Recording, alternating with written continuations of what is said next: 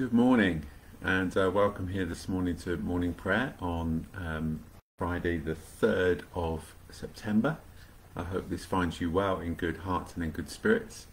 Um, uh, indeed, it's a pleasure to be with you today. Things are starting to return back to some sense of normality. Um, Pippa wants to be part of everything again. Um, obviously, getting a little bit cooler outside, so she feels that she needs to be uh, inside. Uh, Jacob's gone to school today, so he's back. Uh, Lily doesn't go back until Monday. Um, uh, and uh, yes, it, it's all feeling very much like a, in a, a sense of normality, I suppose you might say. Just a few quick notices. Uh, just a notice to say that uh, we have services at um, South Marston, Stanton, and um, Stratton this week, half past nine uh, at all three. Um, please, it would be uh, if you're able to go, that'd be fantastic. But we will also have our ten o'clock service on Facebook as uh, Facebook and uh, YouTube as well. So um, all those different opportunities that there uh, that there may be to come together to worship. Indeed, yeah. Right, uh, I've got some things on my screen which I'm going to try and get rid of because I can't actually see everything. Any tips? Oh, there we go. Yeah, you can just you can just see the head, or there we go. You can just if I raise my legs a little bit, you can just see Pippa's ears. She's sat on my lap at the moment, uh, and you may well be able to hear her better than you can see her. Uh, might be able to hear her purring. Um, oh, just reminding me. She's just reminding me that she's here, aren't you? Right. Cool. Yes, I know you're here.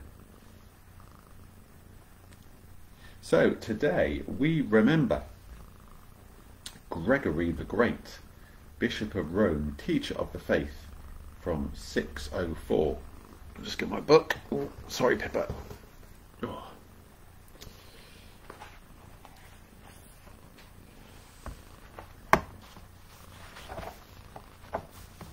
Also, we've had some big hitters recently.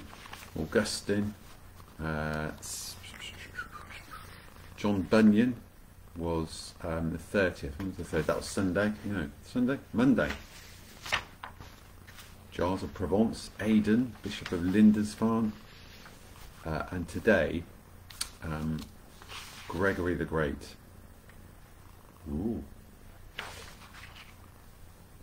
Known as the father of the medieval papacy, Gregory's list of achievements is lengthy. As well as being an, incom- an, an accomplished law student, Gregory founded monasteries, contributed finance to many works, reformed the church leadership in Rome, set one liturgical reform, and organised missionaries to the Anglo-Saxons. Gregory was born in 540 to an aristocrat- aristocratic family of piety and scholarship that had already produced two popes. Brought up in the climate of cultural renewal, uh, Gregory studied grammar, dialectic, and rhetoric. He was made prefect of Rome in 572, where he honed the administrative and political skills which would equip him for his later roles. He entered the monastic life in 574 establishing and endowing six monasteries on his family land and one in Rome itself. In 579 he was sent to Constantinople, where he stayed until 586. It was during this period that he wrote his best theological commentaries. On his return to Rome, Gregory acted as advisor and secretary to Pelagius II, whom he succeeded as pope in 590. Gregory discovered Rome in a miserable state, devoid of any real leadership, not only in the church but also in the wider city.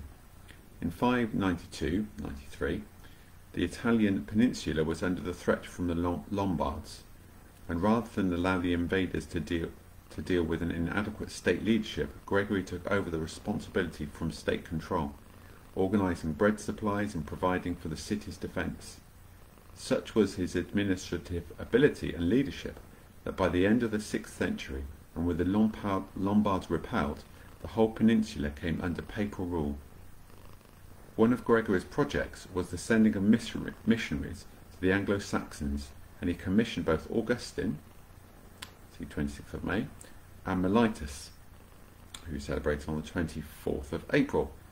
The enormous numbers of letters that he wrote to these two missionaries meant that his influence was even felt after his death. Gregory's period as Pope marks the transition from the ancient world of imperial Rome to a medieval Christendom united by the Roman Catholic Church. The reach and extent of the papal authority increased dramatically. As Europe entered the Middle Ages, it was as a Christian civilization, not only united by the Catholic Church, but to a great extent led by its supreme ruler, the Pope in Rome.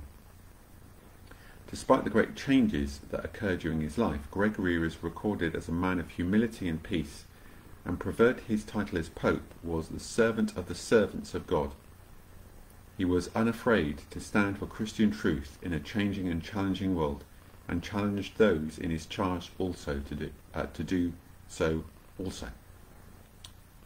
And this is part of Gregory's um, commentary on Ezekiel. If a preacher does not denounce the wicked, he himself be reckoned guilty. For only one who is not afraid to say what is what they rightly feel and does not blush to do so ought to be a defender of the truth. The preacher is a physician who does not blush to prescribe the medicines. Hmm. Some great wisdom there out of all of those paragraphs that I've just read, I think the last paragraph, um, apart from what he wrote, the last paragraph I think is very powerful. Gregory is recorded as a man of humility and peace, and preferred his, his title as Pope was the servant of the servants of God. He was unafraid to stand for Christian truth in a changing and challenging world, and challenged those in his charge to do so also. Gregory the Great, Bishop of Rome.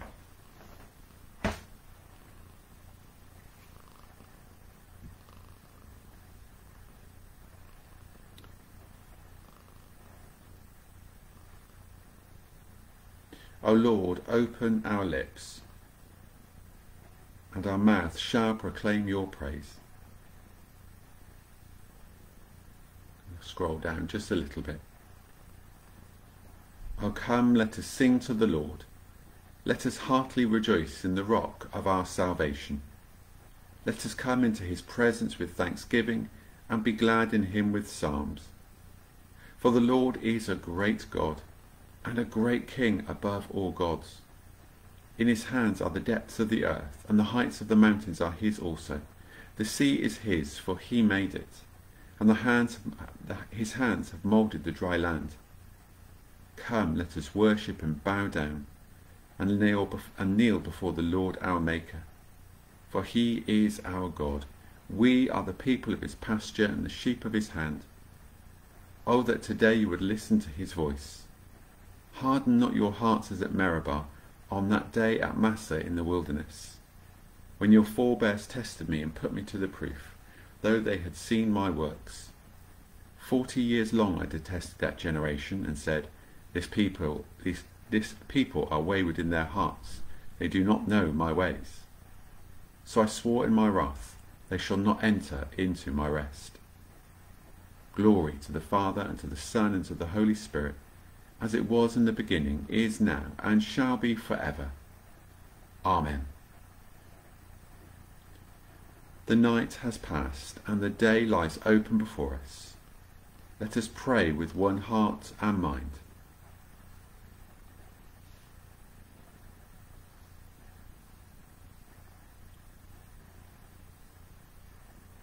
as we rejoice in the gift of this new day, So may the light of your presence, O God, set our hearts on fire with love for you, now and forever. Amen. I'm going to use Psalm 144. So if you just scroll down a little bit, if you're following uh, on the app or on the website, Psalm 144.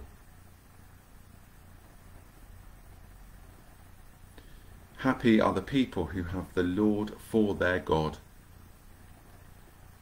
Blessed be the Lord, the, my rock, who teaches my hands for war and my fingers for battle. My steadfast help and my fortress, my stronghold and my deliverer, my shield in whom I trust, who subdues the peoples under me. O Lord, what are mortals that you should consider them, mere human beings that you should take thought of them, for them? They are like the breath of wind, their days pass away like a shadow. Bow your heavens, O Lord, and come down. Touch the mountains, and they shall smoke. Cast down your lightnings and scatter them. Shoot out your arrows and let thunder roar. Reach down your hand from on high. Deliver me and take me out of the great waters, from the hand of the foreign enemies, whose mouth speaks wickedness, and their right hand is the hand of falsehood. O God, I will sing to you a new song.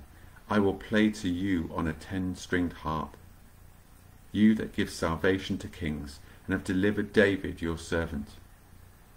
Save me from the peril of the sword, and deliver me from the hand of the foreign enemies, whose mouth speaks wickedness, and whose right hand is the hand of falsehood, so that our sons in their youth may be well nurtured plants, and our daughters like pillars carved for the corners of the temple our barns be filled with all manner of store, our flocks bearing thousands and ten thousands in our fields. Our cattle be heavy with young. May there be no miscarriage or untimely birth, no cry of distress in our streets. Happy are the people whose blessing this is. Happy are the people who have the Lord for their God. Happy are the people who have the Lord for their God. Let us pray.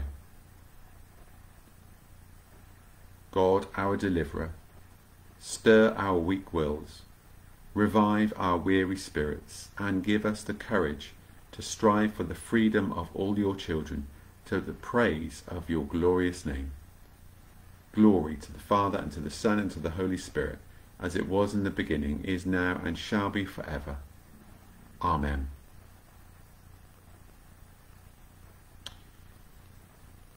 continue to read Proverbs chapter 30. Today we are reading from verses 1 to 9 and then 24 through to 31. Proverbs chapter 30, 1 to 9 and then 24 to 31. The words of Agur, son of Jakeh, an oracle. Thus says the man, I am weary, O God I am weary, O God, how can I prevail? Surely I am too stupid to be human. I do not have human understanding.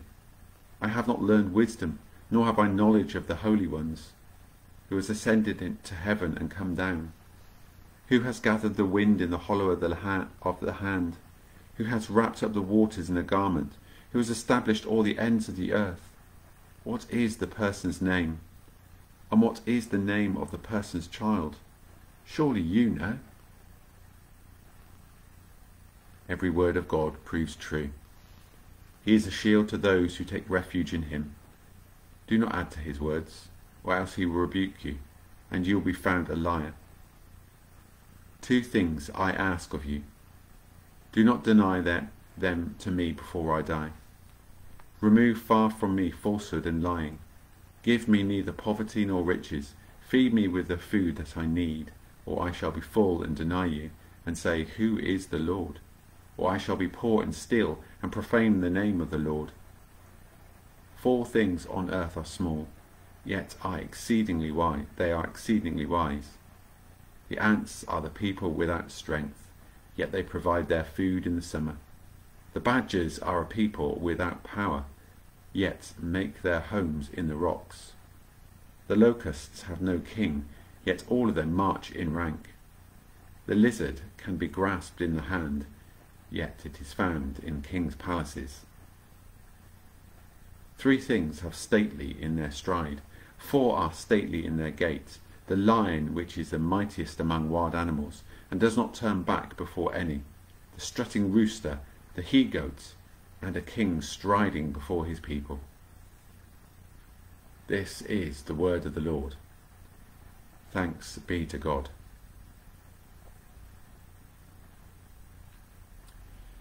It takes some uh, interpretation, I suppose, some reading that passage, and um, uh, Peter Graystone writes a reflection which I'll read in a moment. We move on to this canticle. Raise us up, O God, that we may live in your presence. Come, let us return to the Lord, who has torn us and will heal us. God has stricken us, uh, has stricken us, and will bind up our wounds. After two days he will revive us, and on the third day will raise us up, that we may live in his presence. Let us strive to know the Lord. His appearing is as sure as the sunrise. He will come to us like the showers, like the spring rains that water the earth. O Ephraim, how shall I deal with you? How shall I deal with you, O Judah?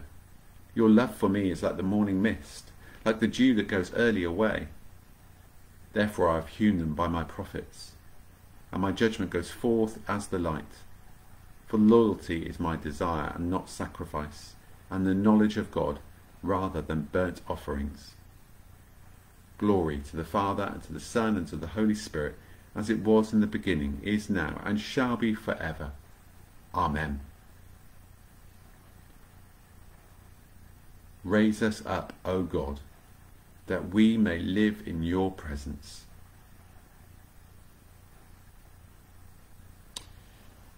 Our reading from the Old Testament today comes from Mark, Mark chapter 9, beginning to read at verse 14. Excuse me, I'm just taking a slurp. Yeah, sorry, none for you.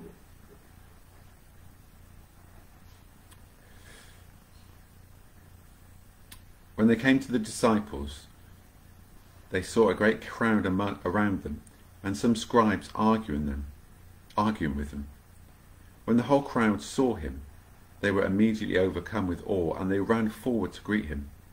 He asked them, What are you arguing about with them? Someone from the crowd answered him, Teacher, I brought you my son.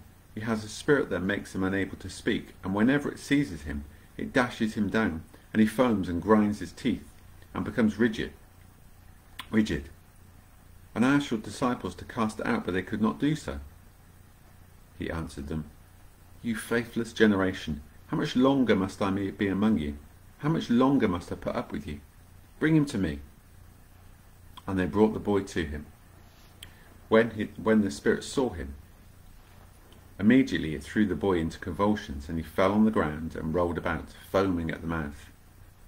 Jesus asked the father, How long has this been happening to him? And he said, From childhood. It often cast him into a fire and into the water to destroy him. But if you are able to do anything, have pity on us and help us. Jesus said to him, If you are able, all things can be done for the one who believes. Immediately the father of the child cried out, I believe, help my unbelief. When the crowd saw that, when Jesus saw that a crowd came running together, he rebuked the unclean spirit, saying to it, you spirit that keeps this boy from speaking in hearing, I command you, come out of him, and never enter him again. After crying out and convulsing, and convulsing him terribly, it came out, and the boy was like a corpse. So most of them said, He is dead. But Jesus took him by the hand and lifted him up, and he was able to stand. When he had entered the house, his disciples asked him privately, Why could we not cast out? He said to them, This kind can come out only through prayer. This is the word of the Lord. Thanks be to God. Another remarkable healing or deliverance. Jesus bringing life, um, bringing life to um, those around him, those that came to him. Something which, oh, excuse me, something which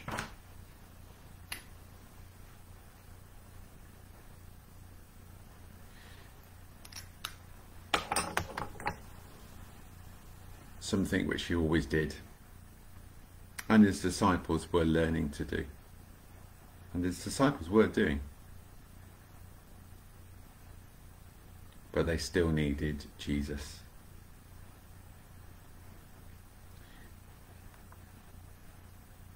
Peter Graystone writes writes on this passage from Proverbs, and he particularly focuses on give me neither poverty nor riches. Nobody knows who Agur was, but this chapter has kept his reputation alive for centuries. On the basis of these riddling verses, I find him immense, immensely likable. Unlike his humility, he introduces himself as someone who has no great shakes as an academic, but muddles through as best as he can because of his awe when he considers God. The answer to his question is, in verse 4, is not me, not anybody, God alone. His sense of the magnitude of what God wants to communicate with us is a caution to all who preach or write. Their role is not to draw attention to themselves, but to make sure that people can hear from God directly. I like his contentment with just with having just enough.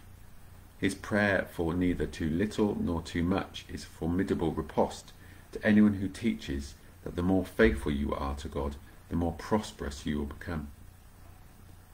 I like his witty way with a poem. The repeated pattern of listing three things and adding a fourth draws attention to the importance of the final one.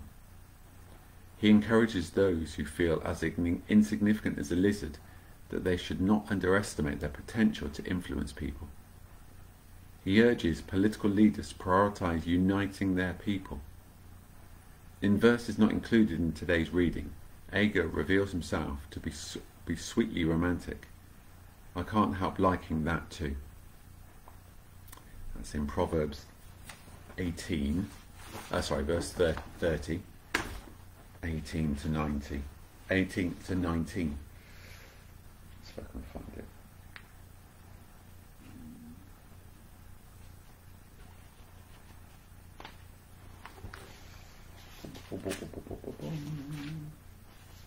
Ooh, ooh.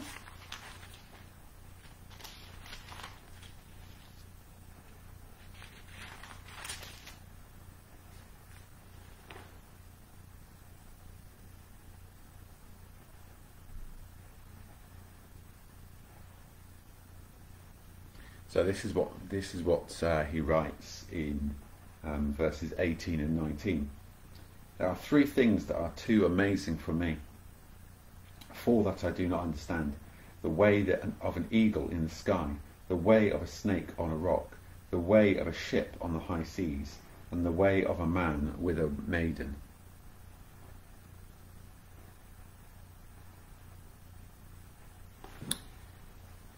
Yes. Had the word. Now she's going to ponder.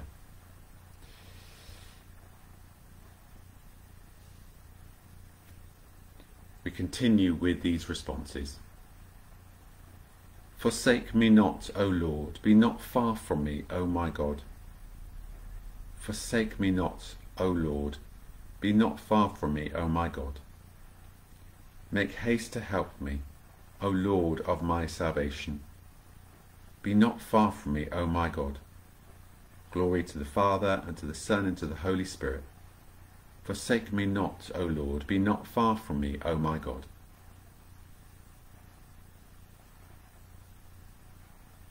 Those who are wise will shine as brightly as the heavens, and those who have instructed many in virtue will shine like stars for all eternity. Blessed be the Lord, the God of Israel, who has come to his people and set them free. He has raised up for us a mighty Saviour, born of the house of his servant David. Through his holy prophets God promised of old to save us from our enemies, from the hands of all that hate us, to show mercy to our ancestors, and to remember his holy covenant. This was the oath God swore to our father Abraham, to set us free from the hands of our enemies, free to worship him without fear, holy and righteous in his sight all the days of our life. And you, child, shall be called the prophet of the Most High, for you will go before the Lord to prepare his way, to give his people knowledge of salvation by the forgiveness of all their sins. In the tender compassion of our God, the dawn from on high shall break upon us, to shine on those who dwell in darkness and the shadow of death, and to guide our feet into the way of peace. Glory to the Father, and to the Son, and to the Holy Spirit, as it was in the beginning, is now, and shall be for ever. Amen. Those who are wise will shine as brightly as the heavens, and those who have instructed many in virtue will shine like stars for all eternity.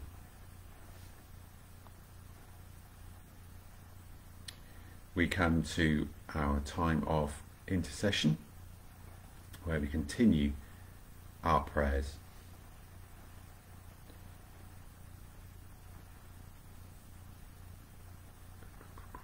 Excuse me, let me just. Um,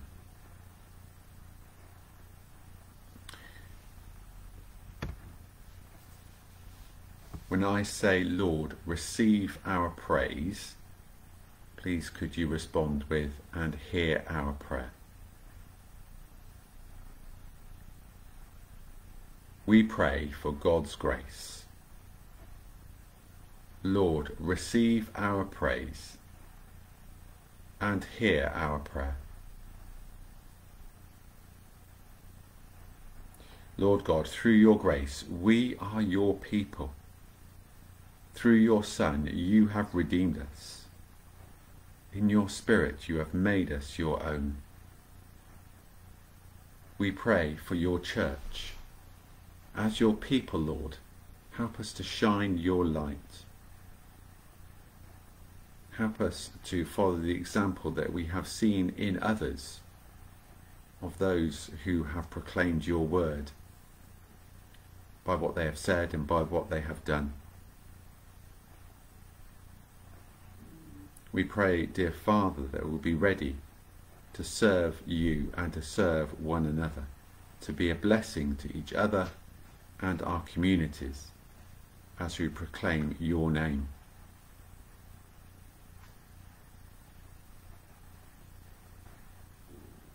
We pray, dear Father, that we'll be inspired by your Spirit to know what to do. Give us a vision, Lord, of how we can show our love and your love to the world around us.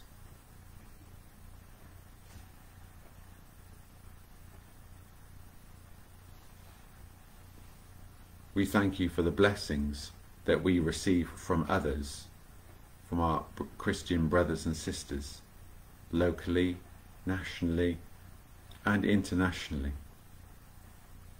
We thank you, dear Father, for those that have helped us on our journey, perhaps even without knowing it. And we pray, dear Father, that we may in turn help others on our journey. So just for a moment, but you'd like to lift people before God who you wish to to hear his word and to know his love this day.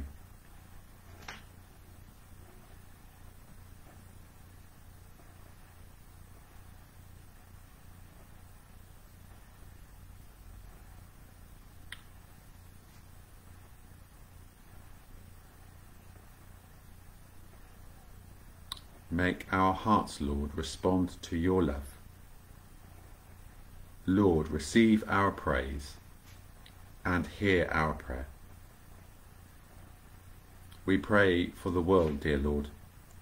We pray especially at this time for Afghanistan, for those that have left Afghanistan,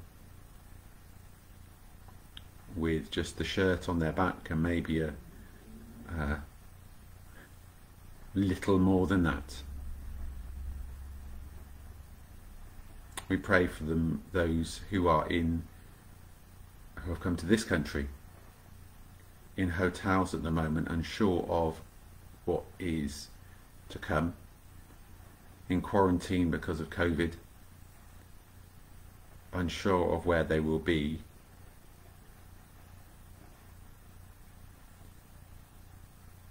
Open our hearts, Lord, to know what we can do to share your love and to offer the hope you have set before us all. We pray, dear Father, for those affected by um, the the extreme weather at the moment. We pray for those affected in the states, for those affected around the world, Lord, with um, um, far less robust infrastructure and services. We pray, dear Father, for those who have been made homeless, for those in in Europe that have been made homeless after a few um, after the, the floods of a few weeks ago.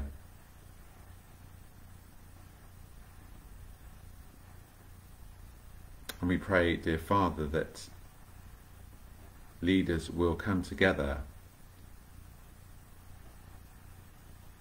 And uh, uh, and populations will come together. Not only just to prepare for future events but look to really take care of the planet and everybody recognise that we all have a part to play. Give wisdom's leaders, give wisdom, courage and vision to leaders as they meet together in a few weeks' time.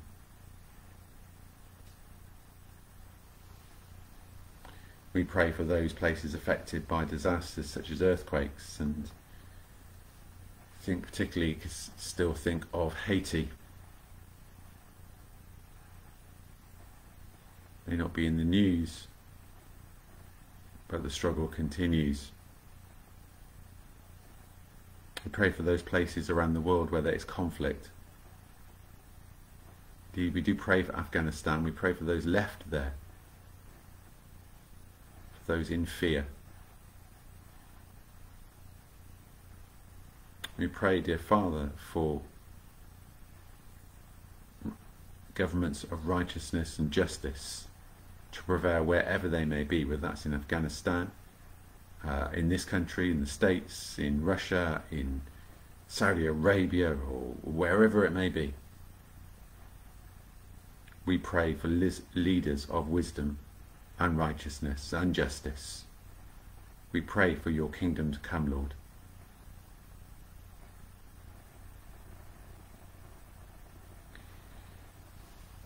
And as we pray for peace around the world, in each corner of the world, make us help us to remember that peace begins with us. So make our lives bear witness to your glory in the world. Lord, receive our praise and hear our prayer.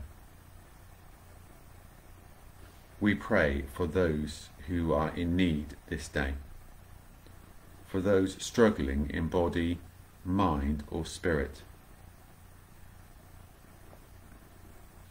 We lift before you, dear Father, all those who are on our hearts and on our minds,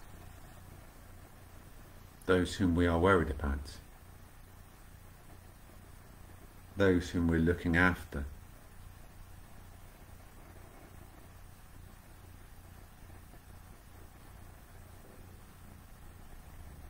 and we name just some of those.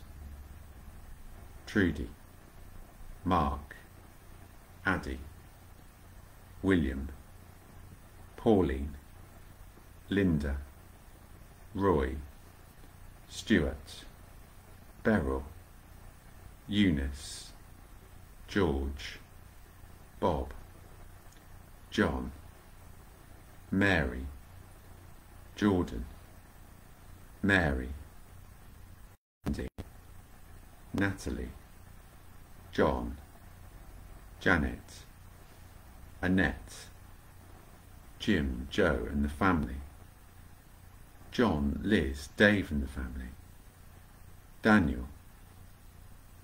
Pray for Peter and Alvin and their family today, especially thinking of them as it is Hazel's funeral later.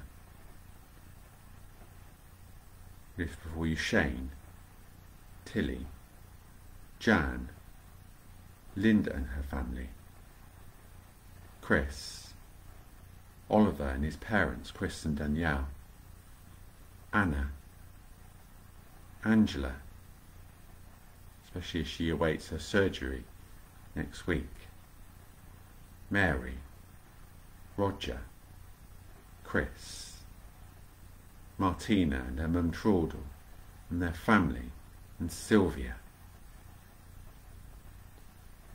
Andy, Catherine, she awaits her surgery in a few weeks' time, Anne, Sarah, Nicholas, Martin, Pat, Jeff and Hilary, Tom, Julie, Esme, Nilva and her family, Len, Margaret's family, Finley, John and Val, Peter and Bridget, Ken, Eric's friends and family, Rose, Barbara, and Geraldina's friends and family.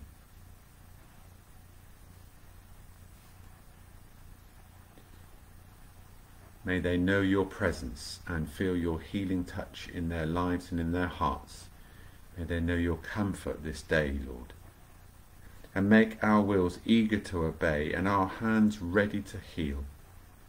Lord, receive our praise and hear our prayer. Dear Father, we give you thanks for all that is abundantly good in our lives, all those blessings that we have that perhaps we don't even realize sometimes, or perhaps that we take for granted.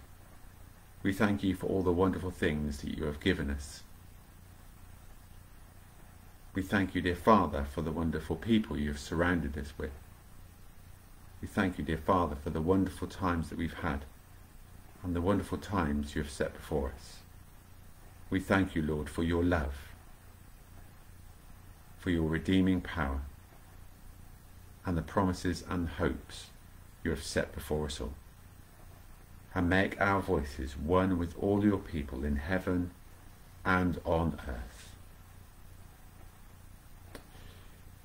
And collect for today. Merciful Father, who chose your Bishop Gregory to be a servant of the servants of God, grant that, like him, we may ever long to serve you by proclaiming your gospel to the nations, and may ever rejoice to sing your praises through Jesus Christ, your Son, our Lord, who is alive and reigns with you in the unity of the Holy Spirit, one God, now and forever. Amen. And using whichever version is your preferred choice, as our Saviour taught us, so we pray. Our Father in heaven, hallowed be your name. Your kingdom come, your will be done, on earth as in heaven. Give us today our daily bread. Forgive us our sins, as we forgive those who sin against us. Lead us not into temptation, but deliver us from evil.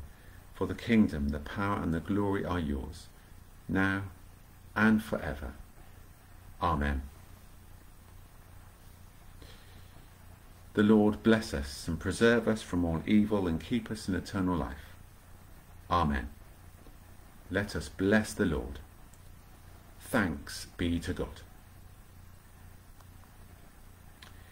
Thank you for joining me today. It is a great privilege and pleasure to, to be able to do this uh, together. and uh, I look forward to that time when we're together again. Um, just a reminder that uh, we have services at half past nine at Stratton, South Marston, and Stanton on Sunday, and of course we have our 10 o'clock, 10:30, 10 o'clock um, online service as well. I hope you have a great day, and uh, I leave you with just a piece of music from the uh, Liturgy for Ordinary Radicals app. This is Praise to the Lord Almighty. Praise to